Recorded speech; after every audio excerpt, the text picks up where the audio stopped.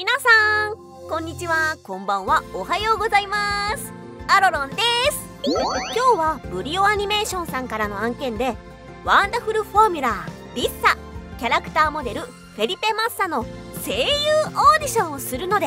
アロロンからリッサを紹介してほしいと頼まれたんですよ。リッサってばどんくさくて内気なところがあるんだけど小動物的な可愛さと永遠の妹キャラとして愛されてる子だにゃ特に特に特に